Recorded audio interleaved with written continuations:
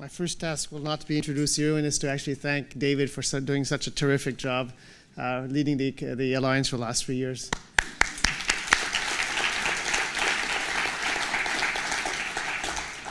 So Ewan Birney is one of the top, world's top scientists. I mean, I'd say bioinformatics, but beyond. I've known him for about 20 years also during the Human Genome Project, and, and since then he's led development of many, many important bioinformatics pro programs, software development, new methodologies, CRAM, Reactome, BioPerl, uh, co-founded Ensembl uh, genome database in the browser. Um, and actually, what I really wanted to tell this, uh, this, this crowd is I know he has been a strong belief, uh, believer in data sharing since the beginning. We've had lots of discussions at Cold Spring Harbor and other meetings since then. In 2009, we led a workshop on uh, uh, try to extend the, the Bermuda principles, which were about early data release for, for sequence information, to actually to extend that to clinical information, proteomics, many other data sets, and it's published in Nature. It's called, called uh, the Toronto Statement, and, and Ewan was a lead author. So again, a, terrific uh, opportunity for us to, to hear to one of the best scientists and some, a, a strong believer in data sharing. Ewan.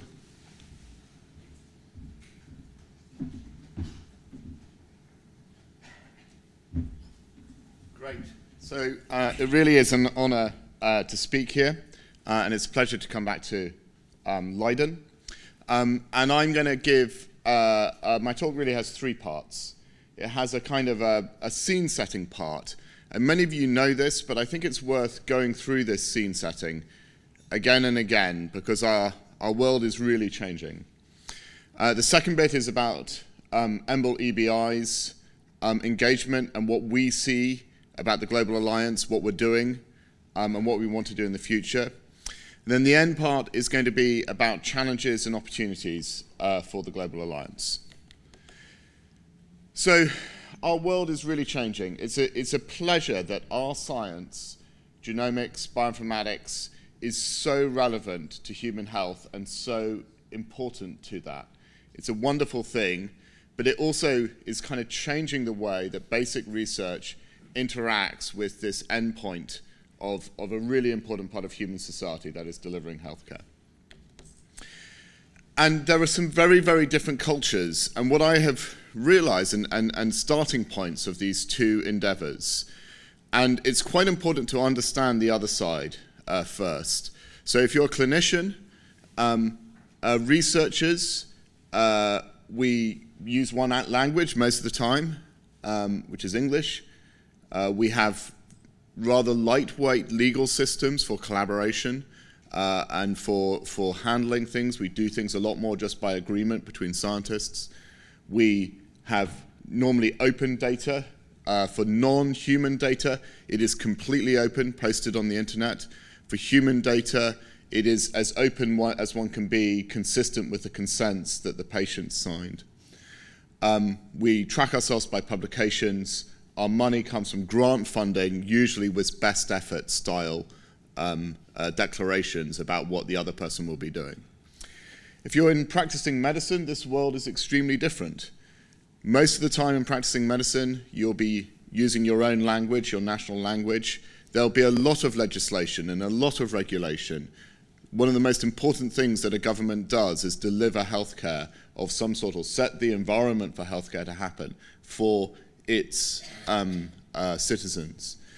Uh, very often the data will be closed, closed just to the patient and the clinician, closed perhaps at the hospital level or the departmental level, um, sometimes more open to the national level. Things won't be published, and the money flow is basically around contracts which are much, much, much more enforceable. Now, what is happening globally is that our research is becoming far, far more relevant to healthcare. Healthcare needs the skills and the techniques that come from basic research. And at the same time, healthcare is going to generate a remarkable data set over the next decade. And we, as researchers, want to be able to tap in, use that, and create more discoveries and more benefits back for healthcare. That is the, the big, broad picture, but one's got to acknowledge um, the, the different places that these two, two worlds come from. Um, there's actually a real pleasure in, uh, first it's bewildering and then you find it's a pleasure. being part of a European system. Because there isn't uh, uh, one healthcare system here, there are at least as many healthcare systems as nation states. Um, but as many of you know, if you're in the UK, the Scottish NHS and the English NHS share only three things. That's the letters N, H, and S. Um, uh, uh, the uh, Catalan government, for example, health is a devolved uh, responsibility uh, for a lot of Spain and, and many other regions. So there is a big diversity of systems, and those systems are fundamentally wired in a different way. And this, I'm just giving you one example of the NHS in the UK at one side, and I will not attempt to say that long German word uh, on the right hand side uh, about how the German healthcare system works.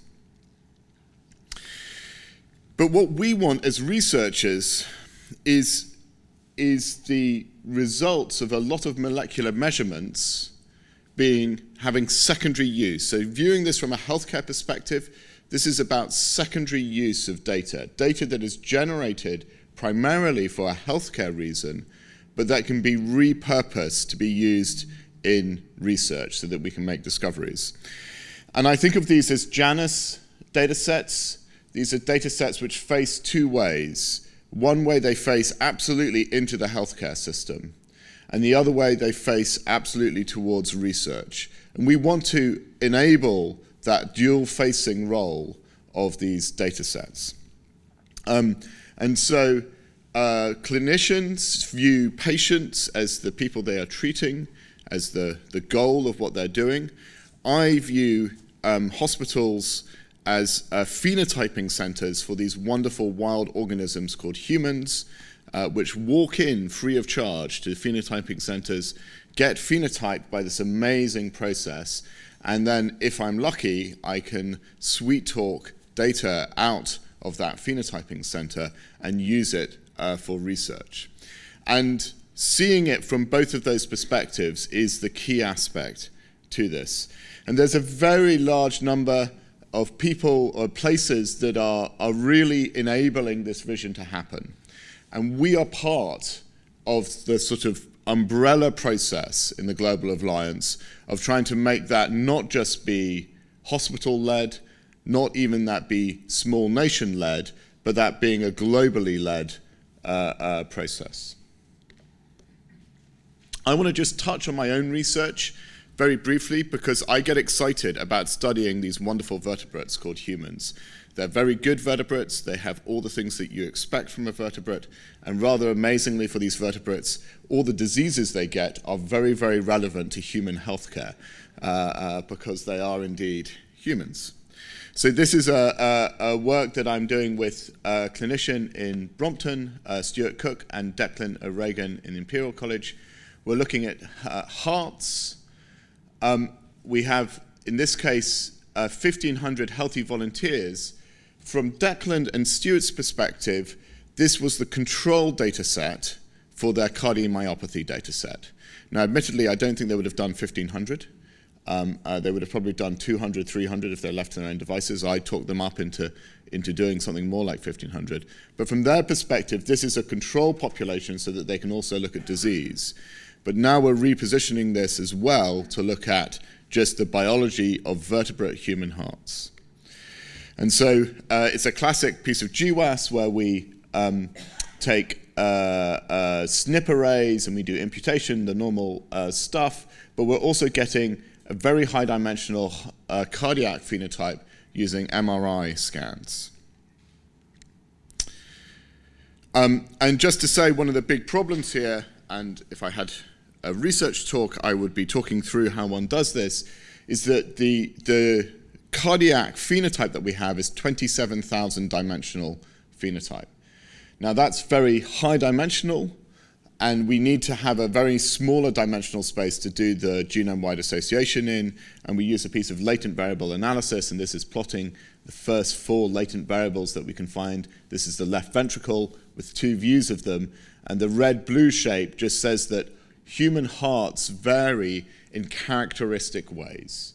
So they vary with a combination of factor 1 plus factor 2 plus factor 3 plus factor 4, and actually goes on to about factor 100.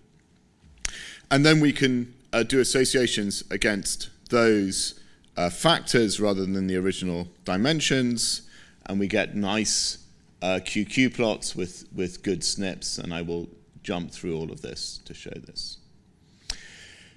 This is just one example where we're studying humans and we're repositioning a medical data set, uh, a data set that was generated for the purposes of human health, but we're reusing it just to, in this case, understand very basic things about cardiac structure.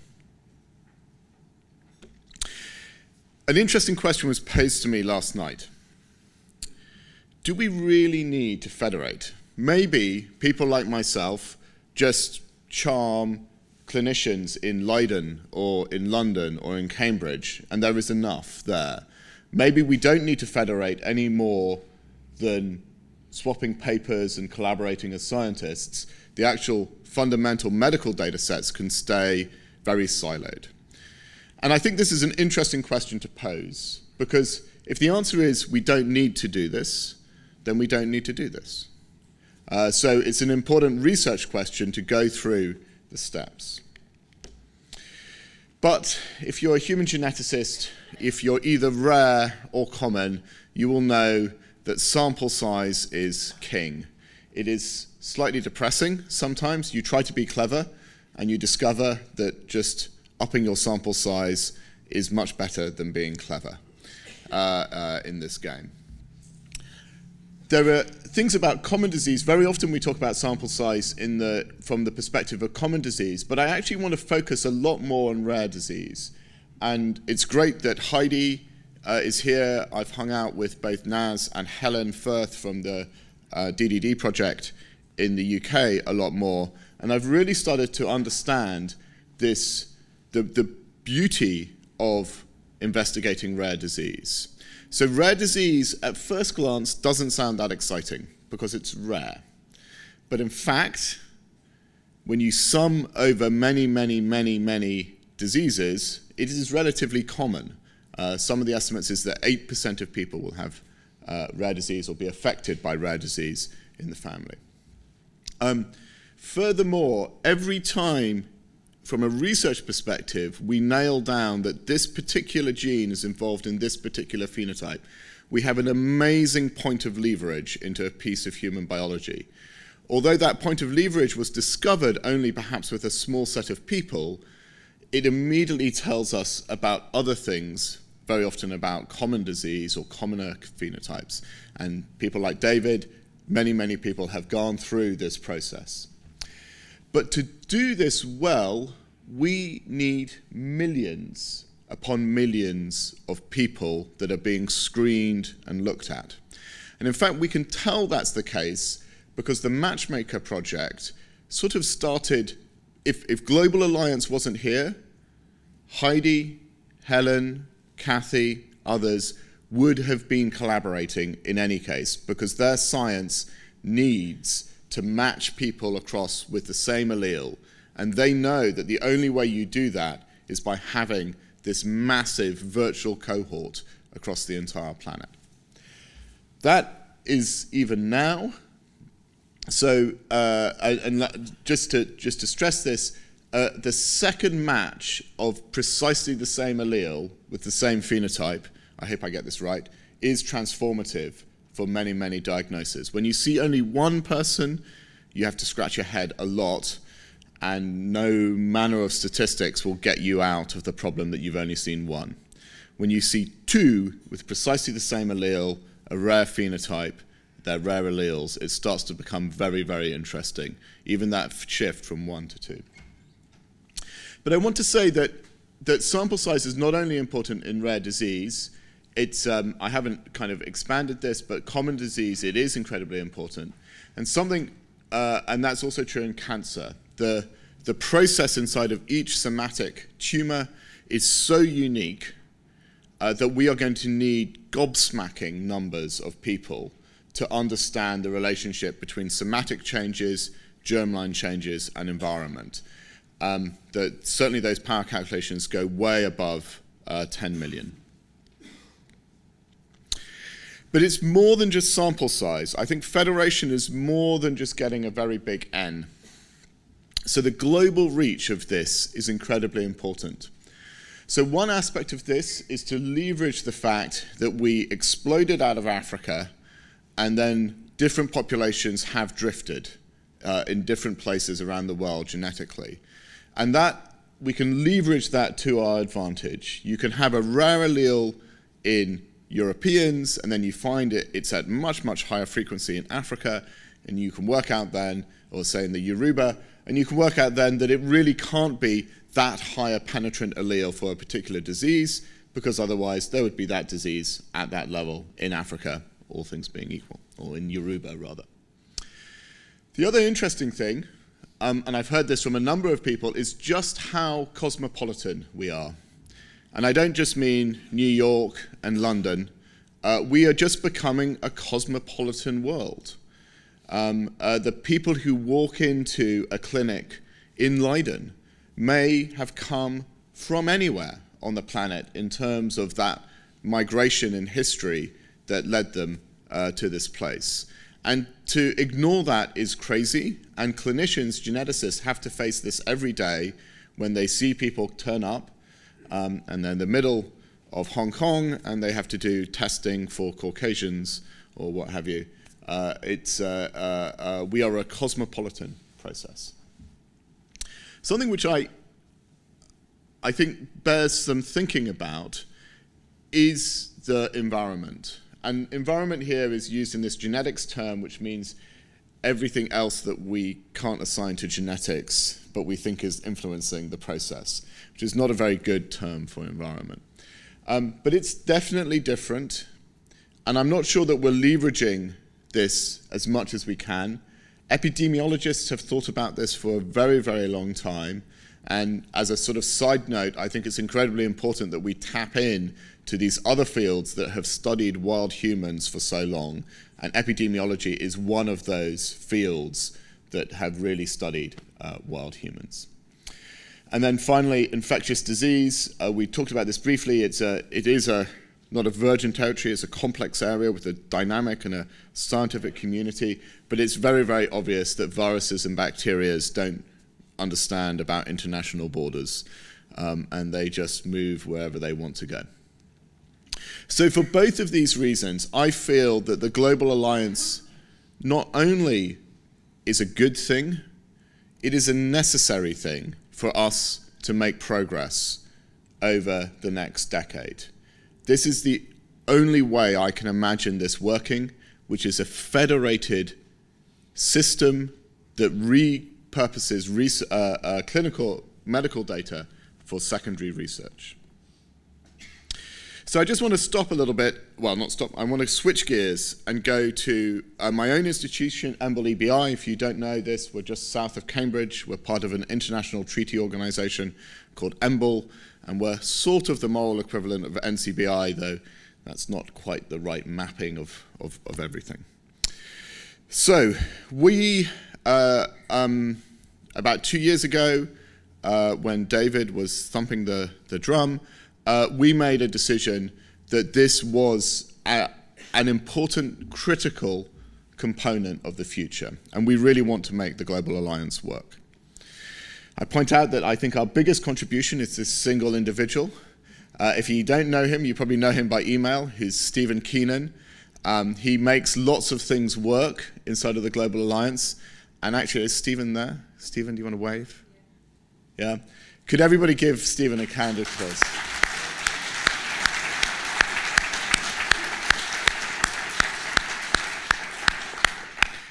Um, Stephen has a wonderful balance of social understanding and technical depth.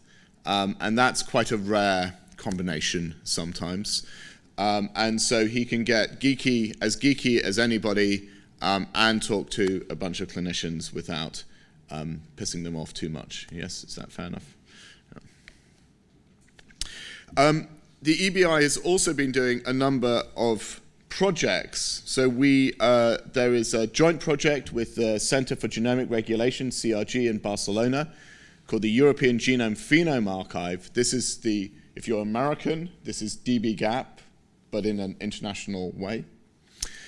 Um, and uh, uh, Justin's team and Arcadi's team, Arcadie will be talking later, have produced a beacon on top of EGA. The access or the, the switching on of the beacon is still something that is not a decision by EMBL or CRG. It's a decision by the Data Access Committee that runs it.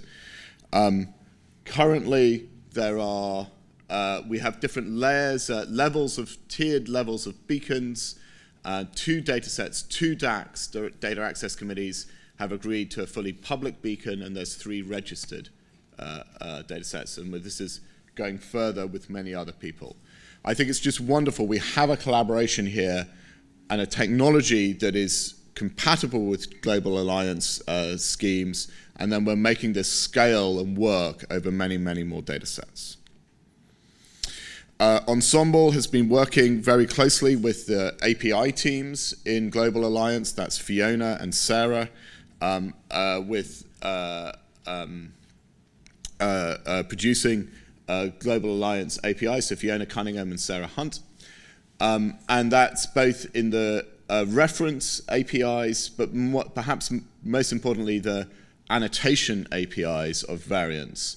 Um, and this is a very important role that we see the sort of data at the EBI playing worldwide in the future. Um, and then uh, Vadim uh, and myself have been involved in this slightly mundane, conceptually mundane part of the dinosaur style approach to computing, um, but still is absolutely fundamental to the way we work, uh, which is file formats. And in particular, the SAM, BAM, CRAM set uh, Vadim has been working along with James Bonfield at the Sanger on producing CRAM 2 and then now CRAM 3. This is a picture of the byte, uh, bits per base stalled. BAM is the orange bar at the top. CRAM of different sorts are, are the other bars. And about the third one down, I wish I had a pointer, uh, is our recommended CRAM level. Um, we, we see no reason why people shouldn't move uh, to that level. If you really are paranoid, you go to the first one because that's totally, totally, totally lossless. Um, but, but that's a level of paranoia that I, I don't think is warranted by uh, uh, most places. Um, and this was, a, um, uh, again, about variation annotation uh, by Fiona, uh, working uh, on how we represent the um, annotation information on top of SNPs, it gets much more complicated than you think, especially with things like CNVs and indels. It is not some walk in the park, just look up which amino acid uh, this particular variant changes. So now I want to finish just on some reflections of the Global Alliance. I am, a, I am an enthusiast. I am a participant um, and I also, uh, as part of the, the leadership of the EBI, I want to make this alliance work uh, uh, worldwide. So the good. I have really seen that Global Alliance over the last year has created a forum that wasn't present previously. I can see that in this very low level area of the SAM, BAM, CRAM formats. Nobody cares. I care. Uh, uh, about that process.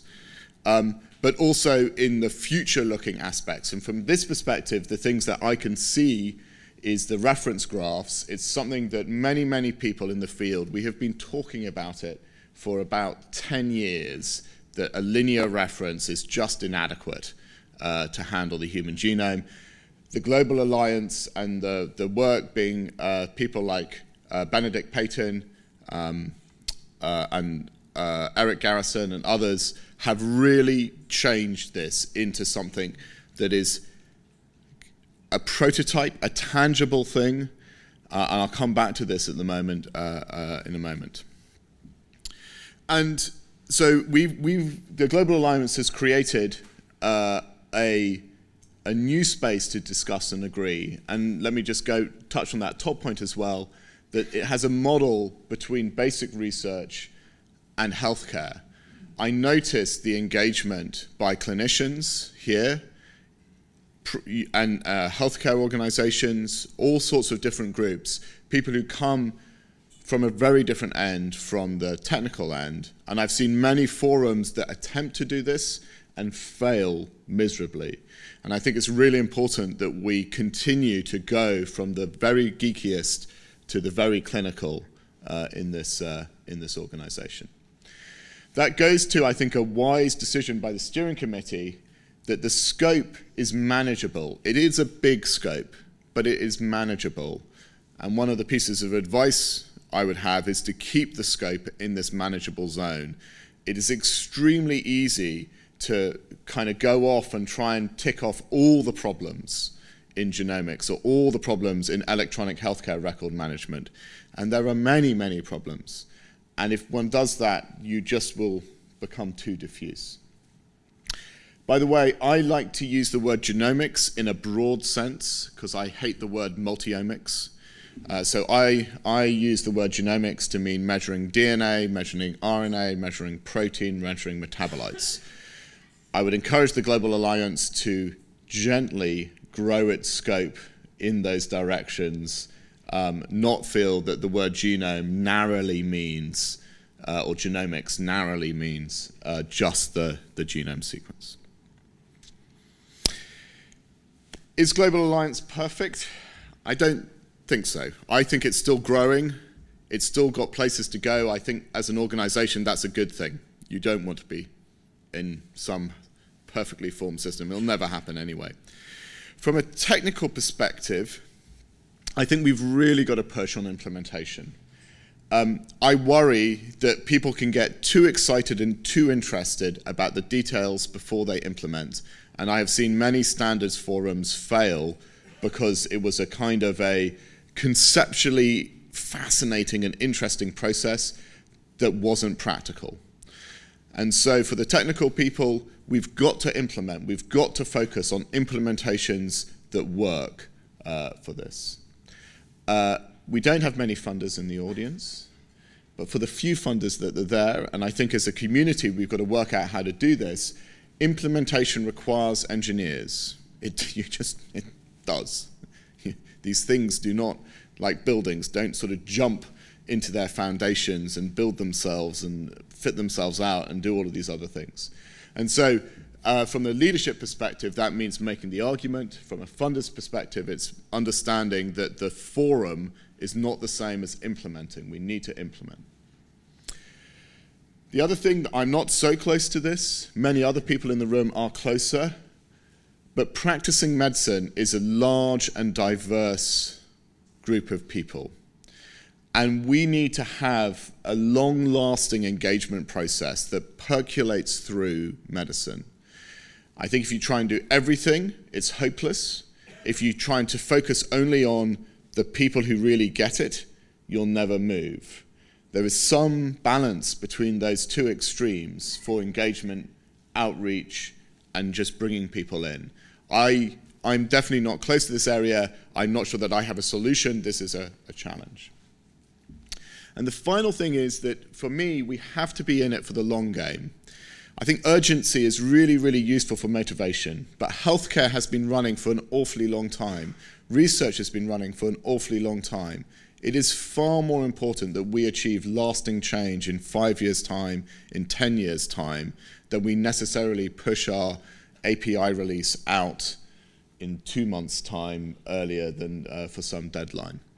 So it's very important that we, we have the right horizon uh, to look at. And then some, we talked about this yesterday a little bit, the, what I would describe the somewhat ugly. Uh, so I am about as British as you get. I love America. Um, uh, I think it's wonderful. Uh, I love many Americans, even with their gun laws and their crazy healthcare system. Um, uh, I've traveled coast to coast. But we've got to admit that we are too Anglo, and we started that yesterday, and we're doing this at the moment. And being British or American is not a bad thing. Okay, it's not kind of wrong or anything like that, but it gives you a perspective. It gives you just one perspective. And you've, what I have learned over the years is that you've got to feel comfortable in hearing people coming from other perspectives. And what that means, especially about the, the ethics and the healthcare thing, is from other cultures, other starting points. So we need to acknowledge that diversity is good, and I think we need to stretch ourselves out of our comfort zone for that diversity, to, to embrace that diversity. Again, I don't have a, a solution to that, but I think there is a, a problem to be tackled. And then getting very geeky. um, uh, so this is incredibly small hobby horse, but it's remarkably important for me. Um, um, so I talked a little bit about this between clarity and models, crudely Avro, and stuff that works, crudely old school. I'm very worried that we're leaving behind performant I.O. as a, as a kind of criteria uh, in this. So there's an awful lot of tasks in genomics where you simply have to ship an awful lot of data onto your CPU, do something, ship it back. Uh, and for the technical people, I don't believe we're tackling that problem at the moment. And I believe that's something that we've got to do. So I think I've taken up all the time. Oh, yes. So one more thing. I want to talk a little bit more about diversity. So in the perfect world, the Global Alliance would like to work with a collaborative set of healthcare systems, perhaps embedded in a collaborative group of countries, diverse set of systems, a strong biomolecular research community, with well worked out ethics for access and strong electronic healthcare records. Wouldn't this be wonderful, Global Alliance, if we could find this place? Europeans, what do we want to do? We want an open forum to discuss and share state of the art in genomics. We want transparency. We want to be part of the leadership we want collective ownership. We understand how to work in a collective way. We want access to the world's brain trusts in this area. And we need to have the ability to bring justification and validation internally inside of our countries to governments, to review boards, and to regulators. So, crudely, we have a marriage made in heaven here between the Global Alliance and people in Europe.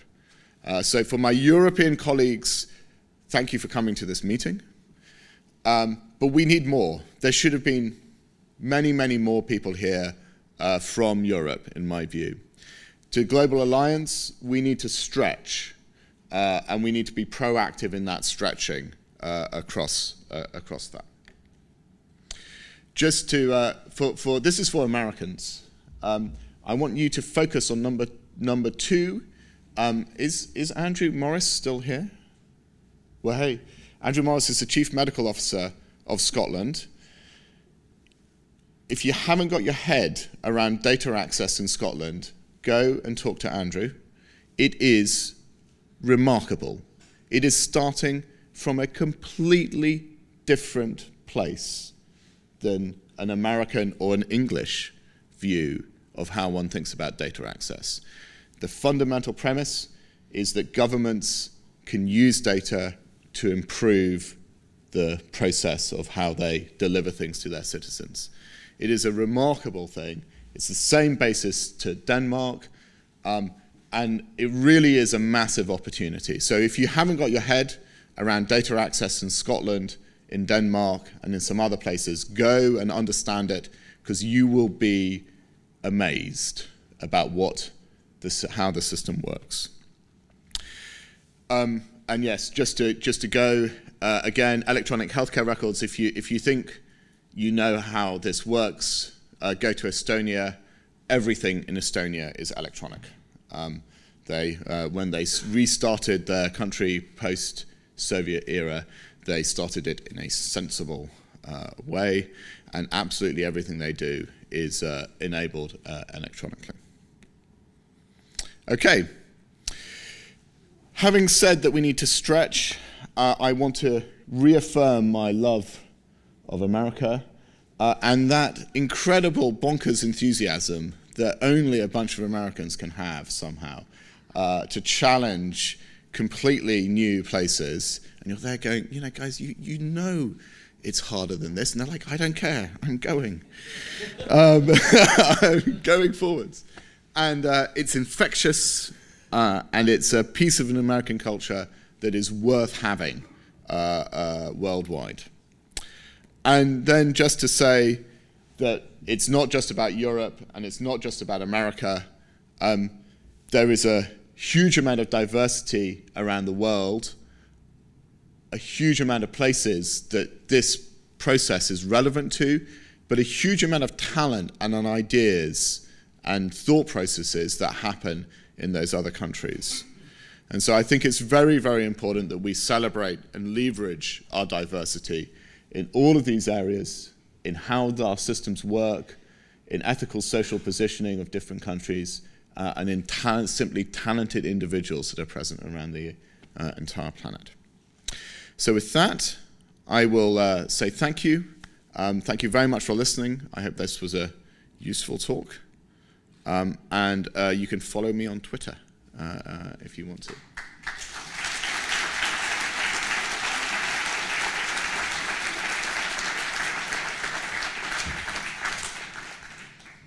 So do I, do I take questions or not? No, I, I think probably not. I think probably you um, should be ready over coffee. Okay. Well, except I. Well, okay. Yeah. Oh God, you're not. Listen, you, that was an absolutely extraordinary panoply. That was really terrific. The range from your geeky origins to the philosophy of the world is um, it, it's stunning. I wish we'd video recorded the whole lot. I, I so think we thank have. you very much. I, I, have we? Yes. yeah. so one thing to add to your, I, I, for, for, me, the biggest single challenge is how we reach from a scientific, a set of scientific communities who really are beginning on a broader level than just the people here to understand the power of combining their data assets, how we reach into clinical medicine where they live in a different place. But the one thing that I think we should never lose sight of is that however conservative and inward looking and narrow practicing medicine can be, they respond fantastically to being given tools that actually work.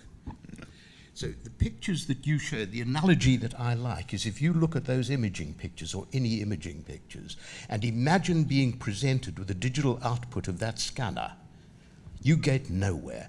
They reduce the digital output to a set of pictures that a human eye can look at. Mm. I think that's our goal. Well, I, let me just say one of one of in my you know cl clinical medicine is also just very very diverse and there, I know I've met many people who want you, you know it's a it's a big diverse community and I and I think we should just explore that.